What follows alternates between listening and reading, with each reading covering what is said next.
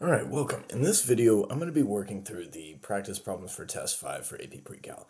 And this is all about like, you know, algebra of functions, composition of functions, inverse functions, transformation of functions, and even and odd functions. And, you know, this is a good practice set, but as always, you're, you're going to want to be reviewing the quizzes from the unit as well. One thing I will add to that, um, I was having a conversation with somebody, you know, after the last test, um, and we were looking at the problems, and students told me that they didn't seem familiar. I was like, what do you mean they don't seem familiar? And we looked at the notes book and we found that sometimes there were problems that were on the test that I didn't get to in the examples in the lecture or whatever, and and those were really important because they were on the test too. Um, and so at the end of this video, I'm going to be going back and working some of the ones from uh, the various notes from throughout the unit that I think are going to be relevant to us. Um, okay, so but I'm just going to start off with these, you know, 12 or 13 problems here. So f is given by f of x is x to the 3 plus x. Which of the following statements is true and supports the claim that f is an odd function and not an even function? Okay, well, I think, hmm, as far as odd function, I think what we just need to do is translate that into, you know, its its definition, and that's that f of negative x is equal to the negative of f of x. That's something we're expected to just know. So really we need to be seeing opposite insides and opposite outsides, opposite inputs and opposite outputs. So I think that's going to be answer choice D. Um, yeah, because A, yeah, that, I mean, maybe, but that would mean that f of 0 is equal to 0. And that does not guarantee that f is going to be an odd function. That was actually kind of a subtle answer choice there but I think D is, is more obviously the better answer choice uh, for you as the student. Uh, A is not a valid answer choice. It, it doesn't guarantee that it's not an even function. But, you know, I could see somebody kind of being confused by that. So for the function f, it's on the f of 3 is 0 and f of 6 is negative 4. g is given by f of x minus 4. So which of the following must be a solution to g of x equals 0? Well, that would be like saying, well, g of x is f of x minus 4. I'm just going to take them at their word and say f of x minus 4 equals 0. Now, the only thing I know that's a solution for f of a thing equals 0 is f of 3 equals 0.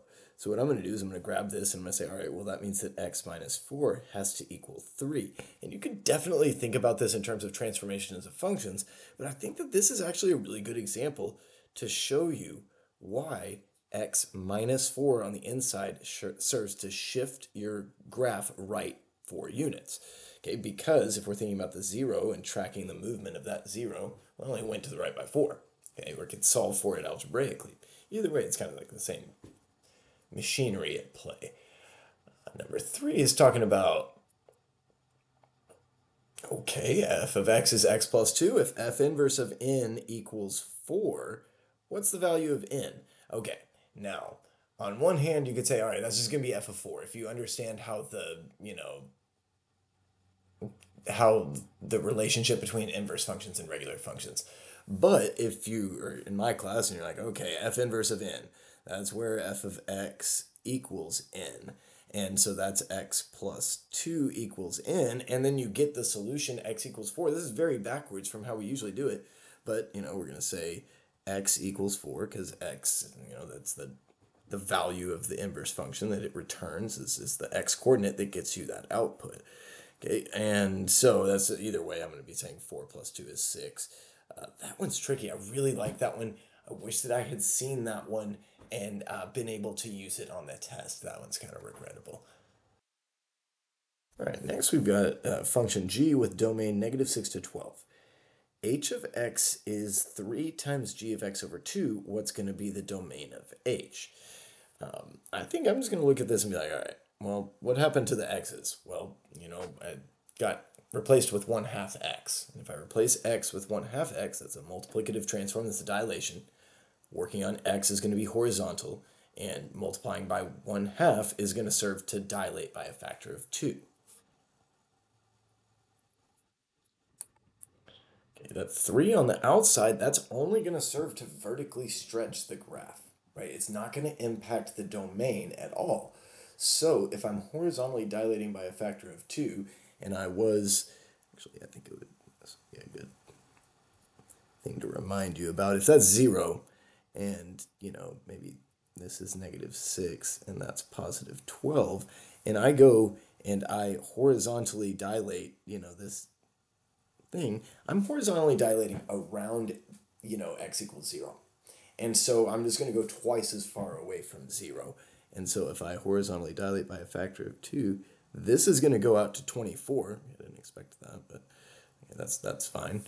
Um, that'll be 24. That'll be twice as far out. And then this will also go twice as far out. And I didn't draw this very accurately, but it'll go from negative 12 to 24 is what I'm saying. And so that's going to be answer choice B, and I'm just going to move on. All right, this one. Now, I remember seeing this one in AP Classroom, and I gotta be honest, I didn't love this one. Um, let's see what's happening here. Okay.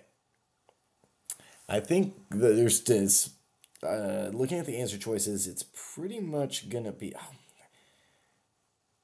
okay. Oh, okay. Yeah, yeah, yeah. That I can eliminate to figure out is it just to be two dilations or is it to be two dilations and a shift?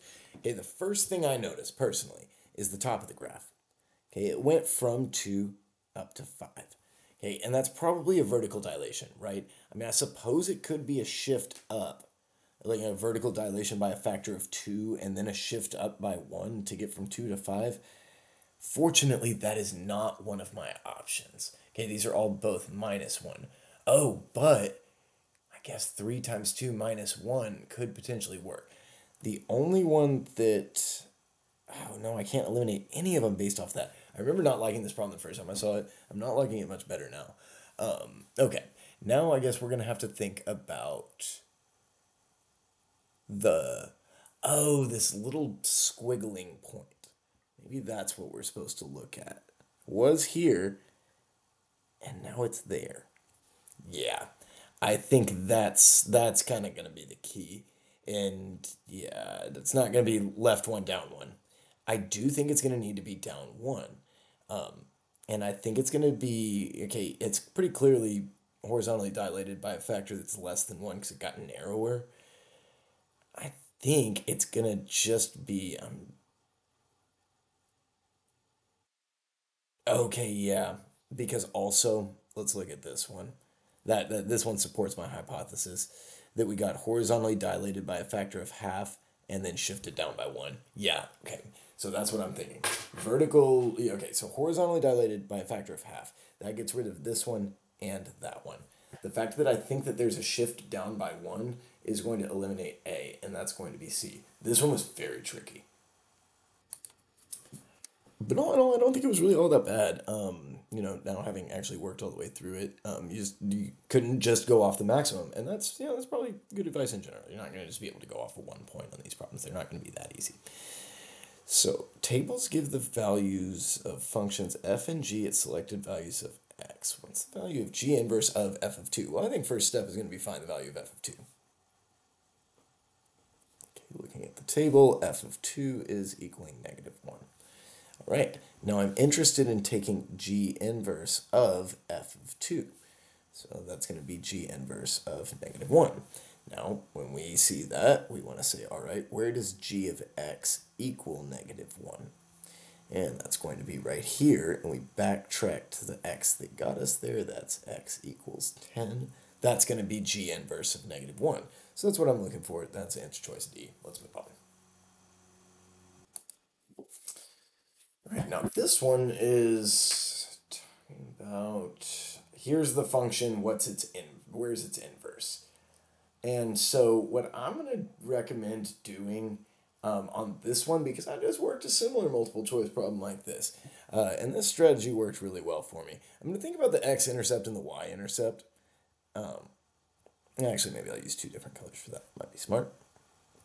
Okay. And this is going to be very approximate, but I'm going to have the point 1.3 and 0 and also the point 0 and negative 1.5. I'm just making numbers up for that, but it's, presumably I should be able to find, you know, a graph that just has the reverse of that.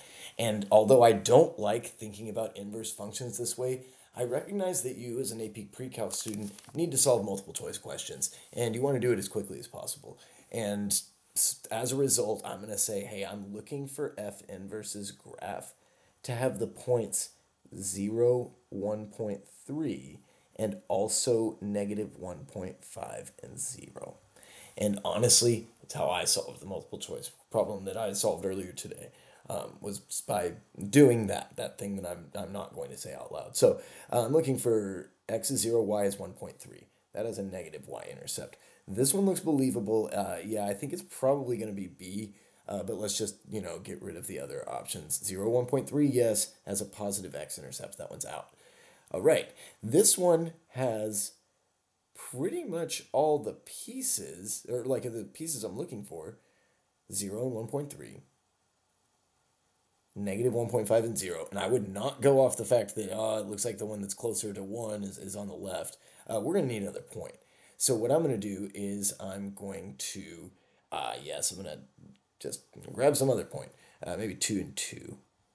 So if 2 and 2 is on the graph of f, that means f of 2 equals 2. That means f inverse of 2 has to also equal 2. And I'm looking for a graph that goes to the point 2, 2, and that is only answer choice B. So I can confidently eliminate D. If you can get it down to 50-50 in the long run, that's that's going to be all right in AP Pre-Cal, right? Um, if we can get more multiple choice questions right than wrong, we're on track to get credit. Um, but I want you to be like certain and confident well on your answer choice, and so I want you to be able to eliminate that last one. All right, now this one's a good problem. Uh, I can see like I can see the pre-calculus in this one really. Um, so they're telling us area is equal to pi x squared. And I think the reason they did x is they just didn't want to be so obvious here. But you know, you took geometry. It might have been a while ago, but you took the class. A is equal to pi r squared. And if you read the statement of the problem, basically what we've got is we've got a circle that's growing, right? It's a ripple in water. So the radius of the circle is increasing. And this is like, this is basically an AP calculus problem minus the calculus.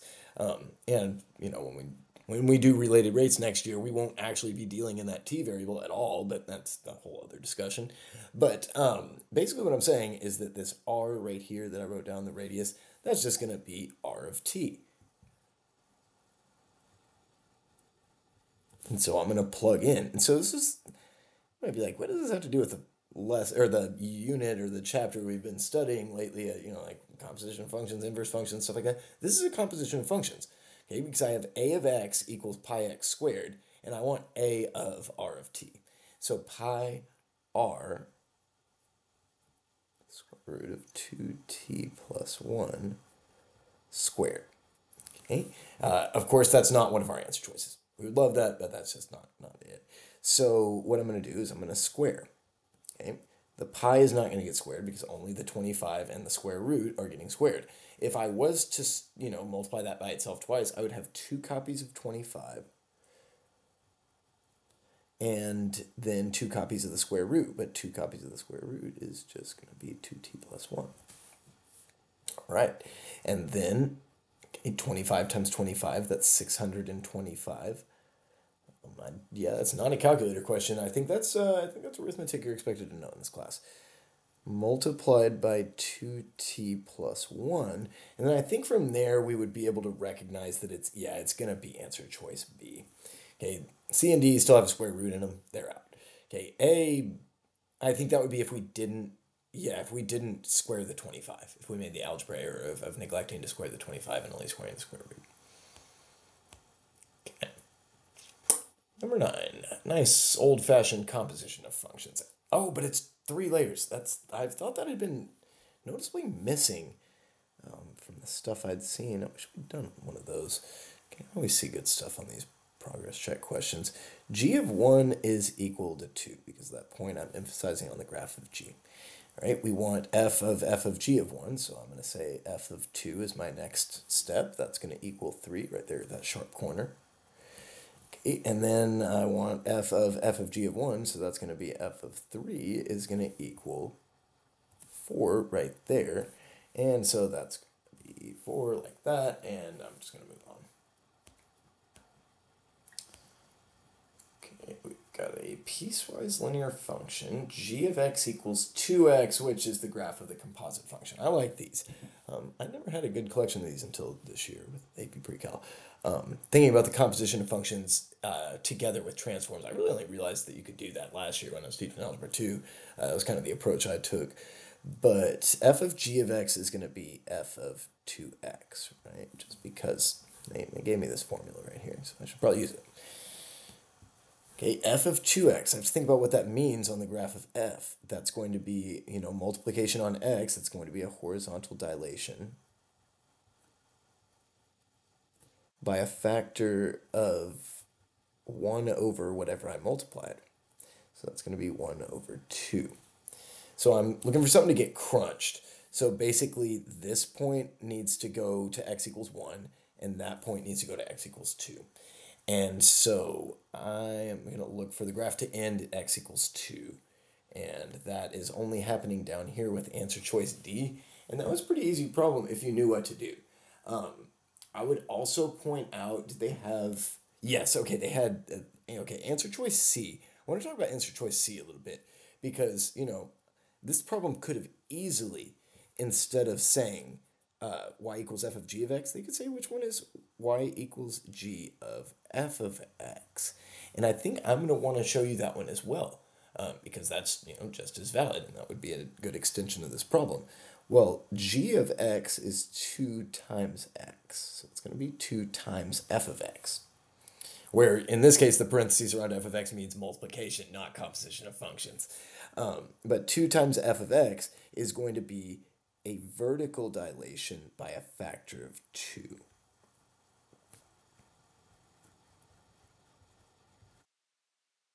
Okay, and in that case, we'd be looking for something that went uh, twice as high and twice as low. So the flat part would be at negative 2 instead of negative 1, and we'd go up to 4. And that would have been answer choice C had they asked us for g of f of x. Oh man, this is another one of these backwards inverse function problems that I really wish I had noticed sooner. Um, so f of x equals log base 2 of x. You know, this one, I haven't actually solved for any inverses in this video, so I think I'm going to just do that. Uh, if you see that this is talking about like solving a value of the inverse function, that this is just going to be f of 8, good for you. That's great. But what I'm going to do instead, I'm going to just you know, find G. Just like act really robotically and be like, oh, G is F inverse. I must need to find that. So if I want to find F inverse, I'm going to y equals F of x. I'm going to solve for x. And then I'm going to say, all right, that's, that's F inverse. Okay, now F inverse of x, I would need to substitute x for y. That's going to be 2 to the x. And so that's g of x. then if they're saying, all right, g of k equals 8, we just did composition functions. We know g of k equals 2 to the, everywhere you see x in the formula, replace it with k. And that needs to equal 8. And so I say, what value of k makes this equation true? That's going to be equal to 3. And, you know, kind of like that because that didn't require us to take the log of a number. We just had to know that log and exponential were inverses. Um, not sure that's probably not what I would do if I was solving this question I was taking this multiple choice test, but you know, I, I think that's good. And I needed to show you, I did do at least one example of computing an inverse function. Because you know that's something you're going to have to do multiple times on your, you know, upcoming test. Um, is, is you actually find the inverse of a function. So f of x is given. Which of the following points is on the graph of f inverse? Well, let's think about this. Huh. I I feel like this problem needs a little bit more. I think I would like it a lot more if they said f is a logarithmic function. Because there are non logarithmic functions that have that vertical asymptote and go through those two points. Um, I think this one might be a reject. Um, be why it's on the progress check, but that's all right. It's still a good question. Um, you know, obviously, you know, if these are points on the graph of f, and I want to think about points that are on the graph of y equals f inverse, I'm going to say, all right, the point 0, 1, the point 1, 4 are both going to be on the graph of f inverse. Oh no, that's not an option I've got. I think what we're going to do now is we're going to, you know, conjecture, because it looks like a log function and the inverse of a log function is exponential, it seems to me like f inverse of x is equal to 4 to the x. And 4 to the 2 is equal to 16. Um, 4 to the 8 is not equal to 2. 4 to the 16 is not 2. All right. Um, well, I guess that if the pattern kept going, then this is definitely true. Um,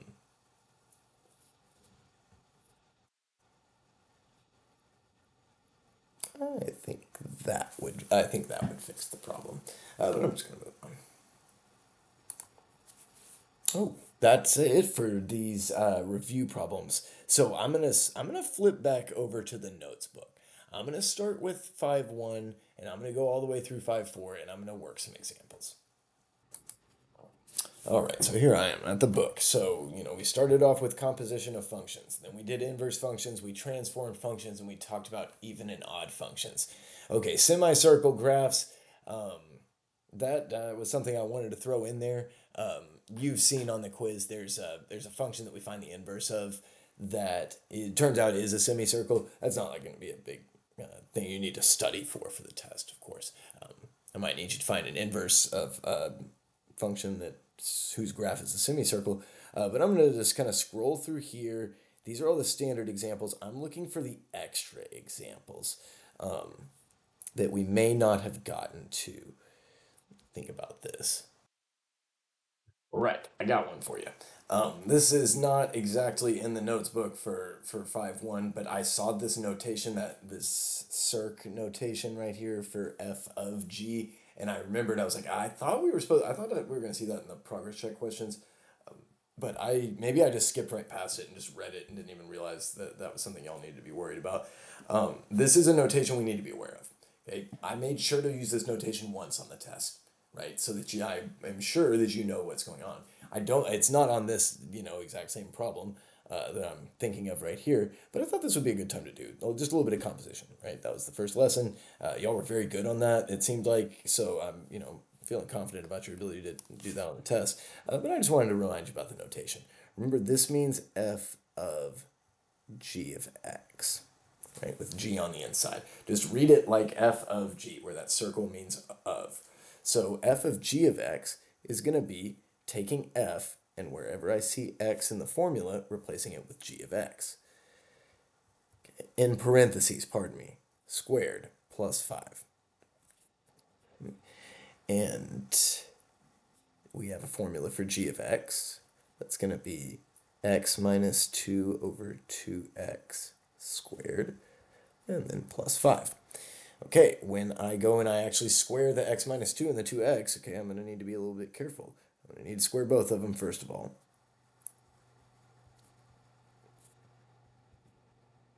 Okay, and when I square the x minus 2, I should probably go off to the side and do a little bit of side work. Um, x minus 2 times x minus 2 going to be x squared minus 4x plus 4. Okay, so I've still got room. x squared minus 4x plus 4 and then if I squared 2x, I'd have two copies of 2 and two copies of x, so that would be 4x squared. And then I'd still be adding 5 onto the outside. And this is an expression, but this is not like fully simplified or written in like a kind of a standardized form. So it could be that maybe the answer choices don't look exactly like that, and you would need to combine these fractions with a single denominator. So what I would do is I would say, all right, this is going to equal still this same x squared minus 4x plus 4 divided by 4x squared, but then plus 5 times 4x squared. It's, yeah, that's still visible to you. Divided by 4x squared. Got to use common denominator. Now that's going to be 20x squares, and but I will combine these you know, all with the denominator 4x squared. And I'll say x squared minus 4x plus 4 plus 20x squares, and that's going to be 21x squared minus 4x plus 4 divided by 4x squared. And there's not going to be any way I can like factor and cancel on that. I, I really don't think. Um, and so I, I think that's going to be far enough for this one. All right, moving on to 5.2, uh, where it says extra examples. I'm going to work all the ones on this page because I didn't get to any of these in class. Okay, um, which of these accurately describes the inverse function f inverse of x? Okay, and here we've got a table for f. What I'm going to do is I'm going to say, all right, well, you know, I could just say, all right, for the inverse, the output values of f are the input values of f inverse, and the input values of f are the output values of f inverse. Okay. And so f inverse, okay, well, f looks like it was log, I mean, exponential because every time x increased a set amount, y multiplied by a set amount. So that does mean that uh, f inverse is going to be logarithmic. We know that, that the logarithmic function is the inverse of an exponential function. And input values increasing by 2 every time output values triple. No, I'm seeing these input values multiplying by 3. So input values tripled, that's going to be answer choice B. All right, here we've got another graph. Um, suppose g is the inverse function for f. What is g of 4? Well, g of 4 is going to equal f inverse of 4, which I would find by setting f of x equal to 4 and solving for x. So f of x equals 4. That happens at that's going to be 3.5. So x equals 3.5 or 7 divided by 2. And I would say g of 4 equals 3.5. All right. Wait, oh, whoops, that was, no, g is the inverse function for f. g inverse of 4, the inverse of the inverse, oh yeah, that's okay, then here it is. Um, that's going to equal f of 4 because g is the inverse function, the inverse of the inverse is the original, f of 4 is equal to 5. All right, the domain of g, okay, well, the domain of f was 0 to 5. Okay, so that's going to be the range of g, right? The range of the inverse is the domain of the original. And the range of f, the actual y values I'm seeing it achieve, are 0 to 7. And so that's going to be the domain of g. Then, the minimum value of g of x, well, like let's just look at the range over here. The range is from 0 to 5, so that must mean the minimum value of g is 0. If they'd asked for the maximum value, I'd have said that was probably going to be 5. I didn't realize I was writing off of the area that you can see. Uh, but that, that's going to be all for that one.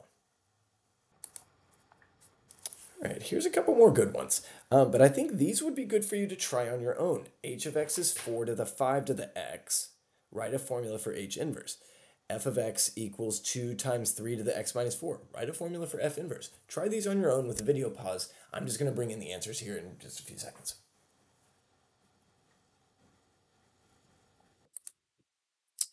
All right, there you go. So I went with the same four-step process as always. I said f of x is y, solve for x, x is f inverse of y, and then substituted for with x if, if necessary. You know, if the if it just asks you for a formula for f inverse, you know, I think x equals, uh, you know, some expression in terms of y, that gives you a formula for the inverse. Um, the next line where it's h inverse of y or f inverse of y, that's also an expression for the inverse. But on a multiple choice test, what you're going to see is which of these is f inverse of x, or g is the inverse function for x, which of these is a function for g of x, and it's all going to depend on x. So you need to be able to do that last step. Um, and also understand that, you know, the inverse is the type of thing that takes outputs and gives you back inputs. All right, here's another one from the notes book. Um, g of x is equal to the square root of 9 minus x squared for x being between negative 3 and 0. Write a formula for g inverse. So y equals the square root, the positive square root of 9 minus x squared. I'm going to square both sides. And that's going to give me 9 minus x squared. I'm going to try to solve for x. So I will probably subtract 9 from both sides. And then I will, wait, that was equal to negative x squared. Let's just move that around a little bit. Say that's going to be negative x squared. Then I will multiply both sides by negative 1 and probably switch the order I write these things in and call that 9 minus y squared. And then I'm going to solve for y, or solve for x, what I meant, uh, by taking the square root of both sides. And so when I take the square root of both sides of an equation, I'm going to need a plus minus. So plus or minus the square root of 9 minus y squared. And this is why I recommend, you know, just solving for x. Because in situations like this, we have to make a decision. Is it the plus or is it the minus? And what we're going to do, think about it. It's an equation. It's staring us right in the face. x is equal to a positive number or a negative number. Look back at the domain they gave us. x is clearly a negative number. So I know that my actual formula I want is x equals negative square root of 9 minus y squared. Now, if they, and that's going to be, that's going to be my formula for g inverse of x. I mean, g inverse of y. If I want g inverse of x, I'm just going to substitute x in for y. And that's going to be equal to the negative square root of 9 minus x squared. But they want the domain of g inverse as well. Now, the domain of g inverse is the same as the range of g.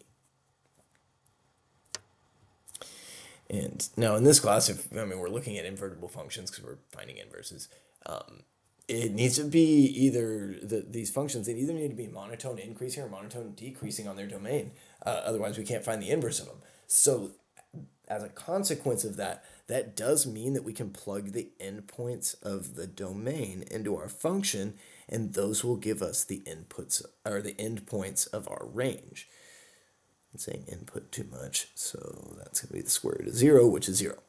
And then g of 0 is going to equal the square root of 9 minus 0, which is going to equal positive 9. Okay, so the range of g is going to be 0 to 9. But I know that the range of g is also this, the same as the domain of g inverse. I'm just put an arrow right there. Okay, that's the domain right there. All right, here we've got one says, all right, the range of f is the positive real numbers. g of x equals log base 10 of f of x. Solutions to which of the following equations are useful in solving the equation g of x equals 3?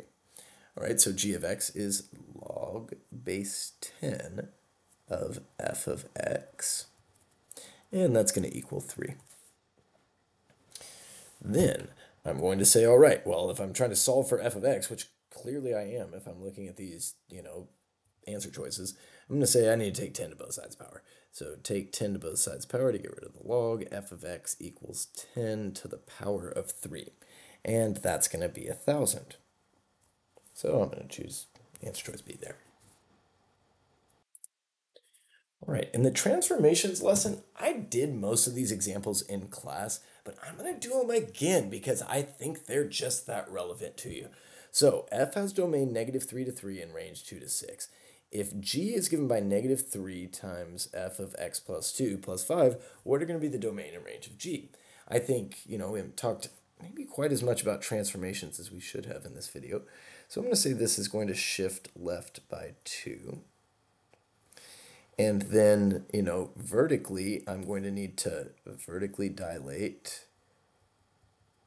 by a factor of negative 3 which that will involve a reflection across the x-axis. And then shift up 5. And they will need to be in that order. Because then I just added 5 to the total. That needs to happen last of all. Okay. And so, what are the domain and range? Well, the shift left is, you know, the only thing that's going to impact the, the domain and so that's going to be negative 5 to 1. And um, then the range, oh, whoops, the range was 2 to 6, and I'm going to take 2 to 6, so I, I'm going to multiply those by negative 3. But what I can't do is I can't say um, negative 6 to negative 18. That's not an interval. There are no numbers that are greater than negative 6 while also being less than negative 18. It's a point of discussion in my class today. Okay, so I'm going to go over here and I'm going to say negative 18 to 6. Negative 6. Yeah, multiplying by negative 3. But then I'm going to be shifting up by 5. So I'd be adding 5 to these. And so probably be first going there and then adding 5 would be negative 13 up to negative 1. Okay, and that's going to be my range of g right here. And then over here, this will be my domain of g.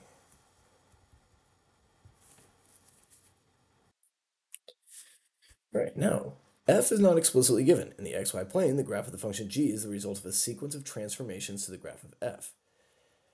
Vertical dilation by a factor of 7. So I'm going to just start off with f of x. Okay, if I vertically dilate by a factor of 7, I'm going to multiply the whole thing by 7. Then horizontally by a factor of 11. Okay, if I'm doing a horizontal dilation, I'm going to replace x with 1 11th of x in parentheses. Now I think it's all right because there's already parentheses there. I'm not, not going to have to add another set. Um, then translating the result down by 4 units, so that's going to be taking everything I've got currently and subtracting 4 from it. And then right by 12 units. And so this is where the confusion can occur. So since this is happening last, I've got all of this, and now I'm going to replace x with x minus 12. Okay, there we've got an expression. And so this is going to be a formula for g, and really a formula is going to be an equation. So I'm going to say g of x equals 7 times f of 1 11th of x minus 12, then subtract 4. Okay, keeping with that same theme, order of transforms. f and g are defined for all real numbers such that g of x equals f of 5 times x minus 6. Describe a sequence of transforms that maps the graph of f to the graph of g in the same xy plane. So if I go over here and I think about, okay, first I had f of x. I'm going to need room for lots of transforms, right? I've got f of x. And then I, I'm going to do it the right way first, and then I'll do it the wrong way, and I'll show you, like, you know, what's going to happen. So if I replace x with 5x,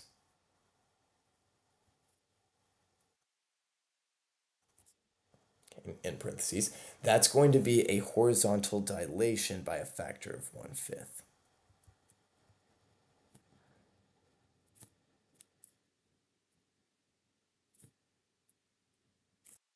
Okay, then if I, after that, replace x with x minus 6 in parentheses, which is what they've done,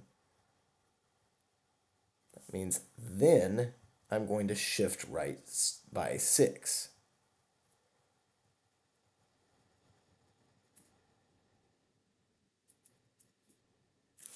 Okay. Had I done it in the opposite order, had I shifted right 6 first, I had f of x minus 6. And then if I, you know, switched out for 5x, done the horizontal dilation by a factor of 1 fifth, I'd have replaced x with 5x in parentheses, and that would just be 5x minus 6. That is not the same as 5 multiplied by x minus 6. So I'm just going to, that is not what we're going to be seeing in this class really at all. The next transform example I've got is this kind of L-shaped graph here. Piecewise linear function f is shown below. Uh, sketch the graph of y equals f of g of x. And this is one that could just as easily be g of f of x. So I'm going to probably do both. f of g of x is going to equal, well, f of x plus 1. I was like, I don't have a formula for f, but that's the whole point. I've got a graph of it. So that's going to be left one unit.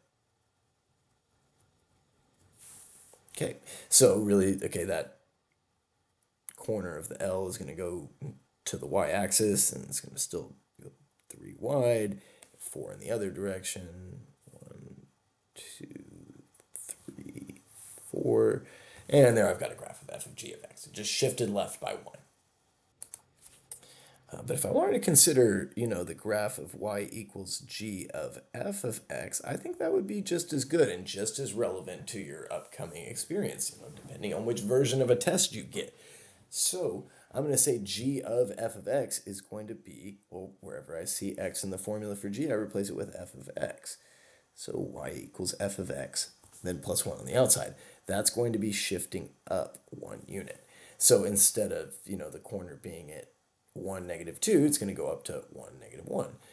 So have that. It'll still reach to the right by 3, and then back and up to the left by 4. Um, that would be... Okay, great. And main line segment. Okay, um, yeah, it looks pretty good. Okay, so I'm going to say that this is y equals g of f of x, and then the blue graph is going to be y equals f of g of x. And so we need to be ready for both of these.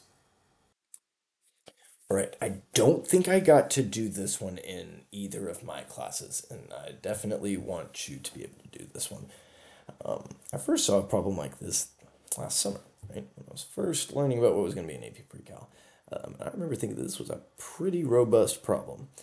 Okay, it's, it's got a bunch of transforms. We have to be careful about the order. You know, we just need to keep all this straight. So a times f of bx, then add c.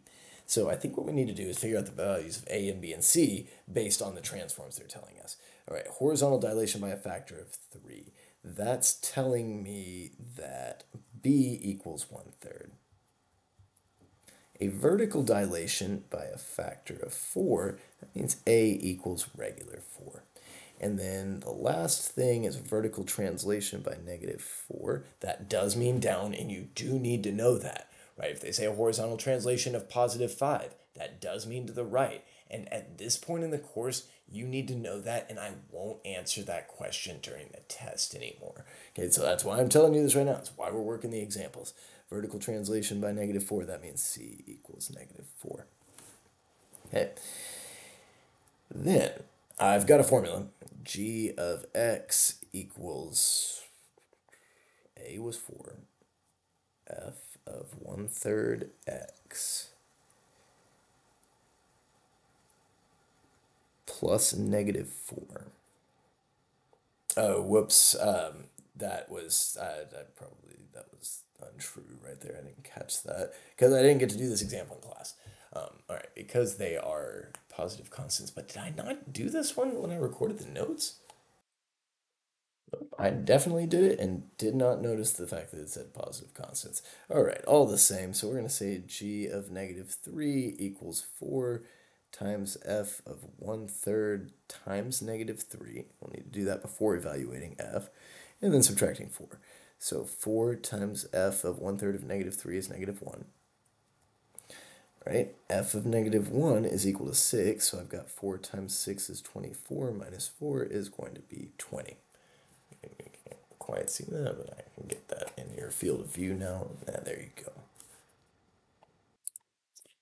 All right, so what I would do if this was a multiple choice question and I was solving it, um, I'm not going to just give a sketch of the fully transformed graph. There's too much going on here, right? I'm just going to track the movement of a couple of points.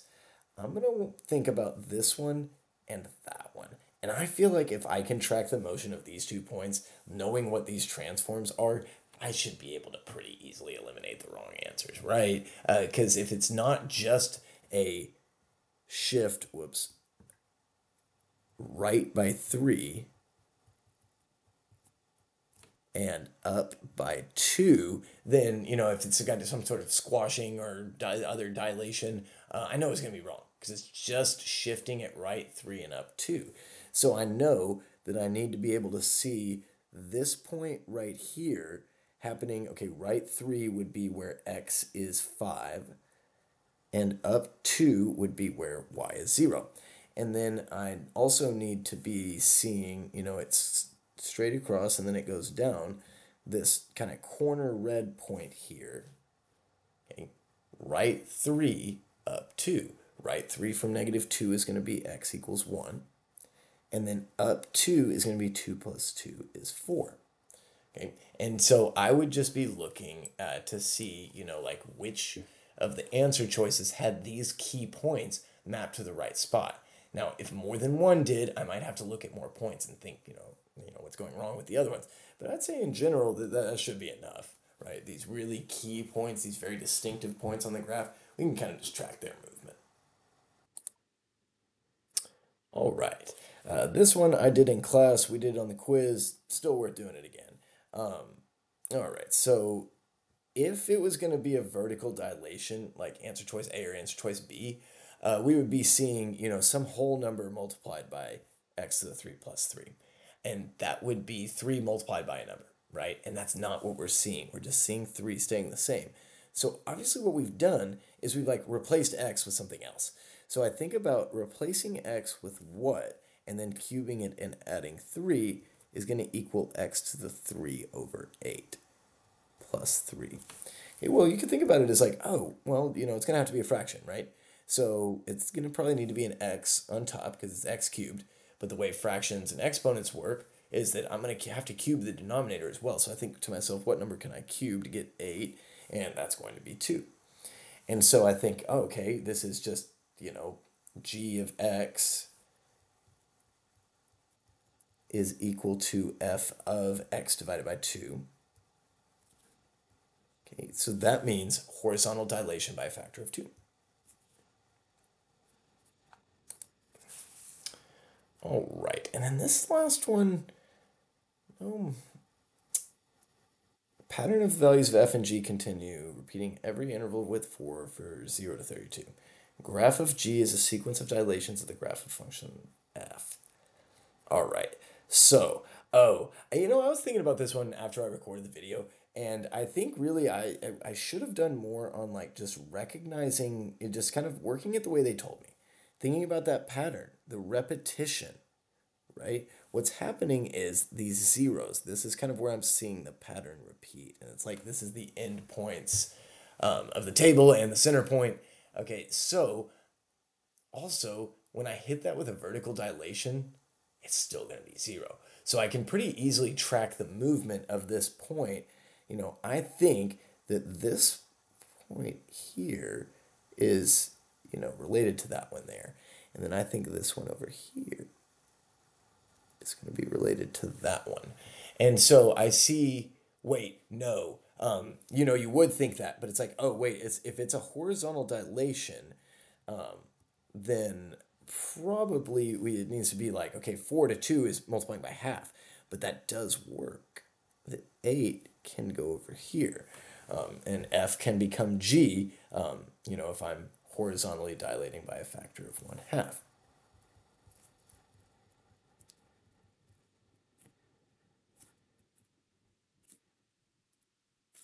Okay, and if that's the case, then that means the 10 value here corresponds to the 40. And this 10 at x equals 6, that corresponds to the 40 back at x equals 3. And that 40 at 5, that probably corresponds to x equals 10 on f. Okay, but going from 10 to 40 would be a vertical dilation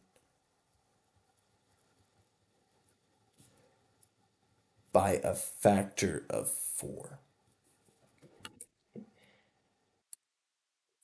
All right, now moving on to 5, 4, even in odd functions. So p has a local minimum at x equals 4. Uh, I'm going to just draw you a picture of that happening. Uh, I think I'm just going to assume y is positive, and that, that's what the minimum looks like.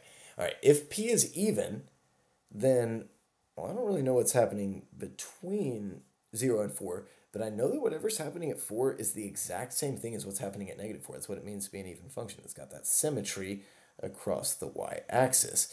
So this one must be false.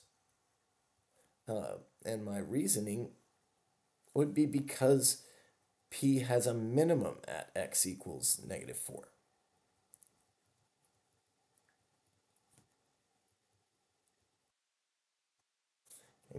And then if I was to say, all right, well, actually, you know what? It was an odd function after all. That means I would have symmetry across the origin, which, you know, if I have symmetry across the origin, basically I can take one half of the graph, uh, you know, either on the right side of the y-axis or on the left side. And I can reflect it across the x-axis and then the y-axis, and I'll land on top of the other half of graph. Um, it's kind of an equivalent way of thinking about that symmetry.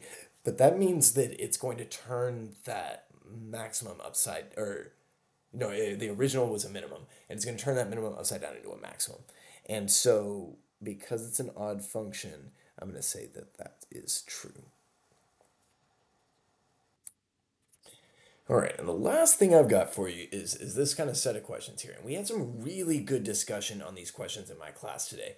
Um, I was I really liked what I what I was getting from y'all, and you know what we were talking as the teachers about about these functions. Um, it was really good stuff, and that's that's really what the mathematics is all about. Is you know like what's possible, what's impossible, what do we know for sure, and what's a maybe.